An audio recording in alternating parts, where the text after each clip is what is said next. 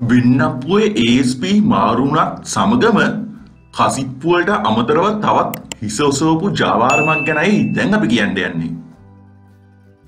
සහකාර police අධිකාරී Eric Perera මහතාගේ නියෝග මත වසාදමන ලද වෙන්නප්පුුව සහ දංකොටුව ප්‍රදේශවල පිහිටි සම්වාහන මධ්‍යස්ථාන මුවාවෙන් පවත්වාගෙන යන ගනිකා නිවාස යළිත් විවෘත කිරීම ආරම්භ කර ඇති බව වාර්තාවනවා.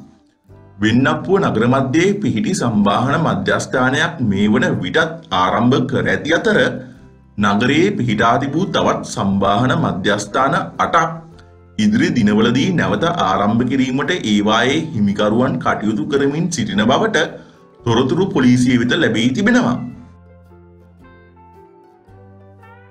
වින්නප්පුුව සහ දංකොටුව පොලිස් බල ප්‍රදේශවල පාසල්වල විදුහල්පතිවරුන් ආගමික ස්ථානවල නායකයන් සහ දෙමවපියන්ගේ ඉල්ලීම මත සහකාර පොලිස් අධිකාරී එරික් පෙරේරා මහතාගේ මෙදිහත්වීමෙන් මෙම සම්බාහන මධ්‍යස්ථාන වසාදමීමට කටයුතු කර තිබුණා.